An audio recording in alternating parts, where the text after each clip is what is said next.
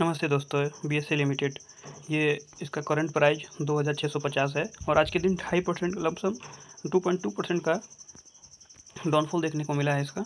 और ये इसका मार्केट कैप ये पैंतीस हज़ार आठ सौ पचहत्तर का है और इसका करंट प्राइस तो बताया चुका हूँ मैं, फिर भी बताता हूँ तो दो हज़ार छः सौ छः सौ पचास का है और हाई ये तीन हज़ार दो सौ पैंसठ का लगा चुका है और लो ये पाँच सौ इक्कीस का लगा चुका है। हाल ही ये कोविड टाइम का ही लगाया हुआ है। और इसका पी रेशियो अठहत्तर पॉइंट छः का है, जो कि आपकी लगता है ज़्यादा है। और ये बुक वैल्यू दो सौ चौवालीस का है। Dividend zero point five percent का, फोर फाइव परसेंट का दे रहा है। और R O C one nine उन्नीस पॉइंट टू का है और आर ओ ई पंद्रह पॉइंट टू का है। फेस वैल्यू दो का है इसका। जबकि इसका चार्ट देखे तो अच्छा है। रिटर्न शुरू से लेके अभी तक अच्छा खासा दिया है। ये ये, इसका प्रोच देखे तो डेप ऑलमोस्ट डेप थ्री है। और एक्सपेंडेबल, गुड एंड क्वार्टरली। ये रिज़ल्ट अपना क्वार्टरली बहुत अच्छा दे रहा है और company handing maintaining high dividend, healthy dividend मतलब ये सत्तावन पॉइंट टू का डिविडेंट दे चुका है, परसेंट का डिविडेंट दे चुका है। कौन देखे तो ये stock trading, ten point nine book value. और ये company has been low return on equity. ये ऑफ़ ग्यारह परसेंट ऑलमोस्ट थ्री ईयर्स और अर्निंग इंक्लूड इनकम पाँच सौ चार करोड़, और डेप्थ हैव इंक्रीज इसका डेप्थ भी बड़ा है, बीच बीच में। ये इसका कौन सा? है और क्वार्टरली रिज़ल्ट देखे तो क्वार्टर दर क्वार्टर रिज़ल्ट में ये रिज़ल्ट इसका सेल्स बढ़ा है।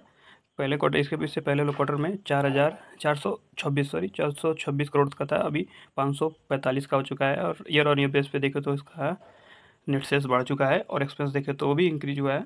और इसका ऑपरेटिंग प्रॉफिट भी इंक्रीज हुआ है।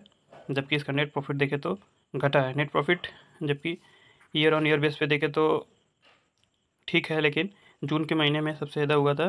नेट प्रॉफिट चार सौ चालीस करोड़ का हुआ था, जबकि इस बार में पिछले क्वार्टर से थोड़ा ज़्यादा हुआ है, लेकिन क्वार्टर दर क्वार्टर इसका नेट प्रॉफिट घट गया है।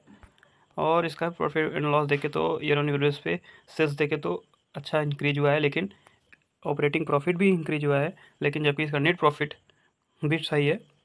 ईयर ऑन ईयर बेस पे देखो तो। ये दस साल का सी में देखे कंपाउंडिंग ग्रोथ देखे तो दस साल का सी पाँच साल का सी में सत्तर परसेंट है और तीन साल में एक सौ चौबीस परसेंट का है और एक साल में तीन सौ इक्यानवे परसेंट का है। और कंपाउंडिंग ग्रोथ देखे तो तेरह परसेंट और दस साल में तेरह परसेंट का है, पाँच साल में बीस परसेंट का है और तीन साल में छत्तीस परसेंट का है। कंपाउंडिंग ग्रोथ देखे तो दस साल में दस परसेंट, पाँच साल में सत्रह परसेंट और तीन साल में छत्तीस परसेंट का है। जबकि इसका बैलेंस शीट देखे तो कितना है? रिज़र्व इसके पास तीन हज़ार दो सौ छिहत्तर का है बोरोइंग ज़ीरो है लाइबिलिटी इसके पास टोटल लाइबिलिटी नौ हज़ार चार सौ पचास का है, जबकि टोटल एसेट नौ हज़ार चार सौ पचास का भी है इसके पास। तो ऑलमोस्ट डेप फ्री ही कंपनी है। और इसका कैश फ्लो देखे तो दो हज़ार आठ सौ बयालीस का कभी है मैनेज करके चल रहा है। और नेट कैश फ्लो देखे तो एक हज़ार छः सौ अट्ठाईस का है।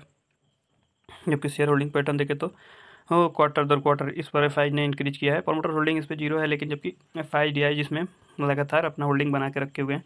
पिछले क्वार्टर से क्वार्टर दर क्वार्टर इसमें प्रमोटर होल्डिंग बढ़ रहा है। एफ़ ने भी बारह परसेंट कर लिया है। पिछले क्वार्टर से सात परसेंट से बारह परसेंट कर लिया है।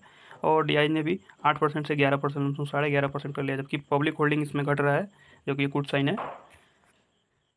आज के दिन ये लमसम दो टू पॉइंट इलेवन परसेंट का डाउनफॉल देखने के लिए जबकि बीच में ढाई से तीन परसेंट डाउनफॉल में था, लेकिन मार्केट का रिकवरी आया। ये दो टू पॉइंट वन वन के आसपास परसेंट डाउनफॉल में बंद हुआ, जबकि ईयर ऑन ये ऑल टाइम छः सौ चौवालीस परसेंट का रिटर्न दे चुका है।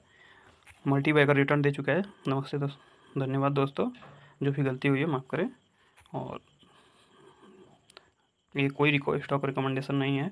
ये अपनी तरफ़ से एक फुल डिटेल देने का कोशिश किए हैं, जितनी जानकारी को शेयर कर रहा हूँ। धन्यवाद।